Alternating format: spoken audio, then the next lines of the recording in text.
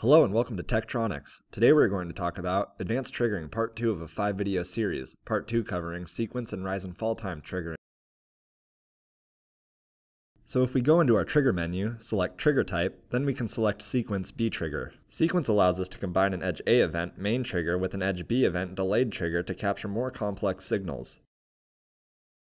And as always with an Edge trigger, we can choose our source, coupling, slope, trigger level, and mode and hold off. However, we can now also select our B trigger after A dependency. We can select a specified amount of time to elapse between the occurrences of events A and B before the scope will trigger and display the waveform, or we can select a specified number of B events to occur after the A event occurs before the scope will trigger and display a waveform. We can also restore these to their minimum values.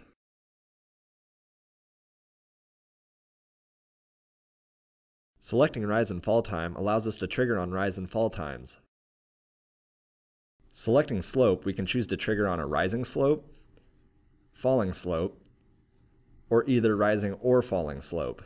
We can trigger when rise and fall time is less than, greater than, equal to, or not equal to a specified time using multipurpose A to adjust our specified time.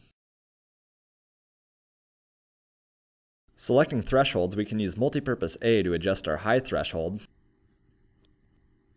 and multipurpose B to adjust our low threshold.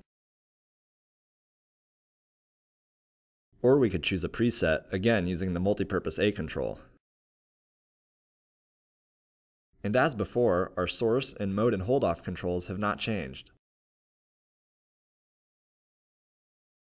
Thank you for watching our video. If you'd like to learn more information about our products, please visit www.tektronix.com support, or if you'd like to learn more about advanced triggering, please click on one of the links provided.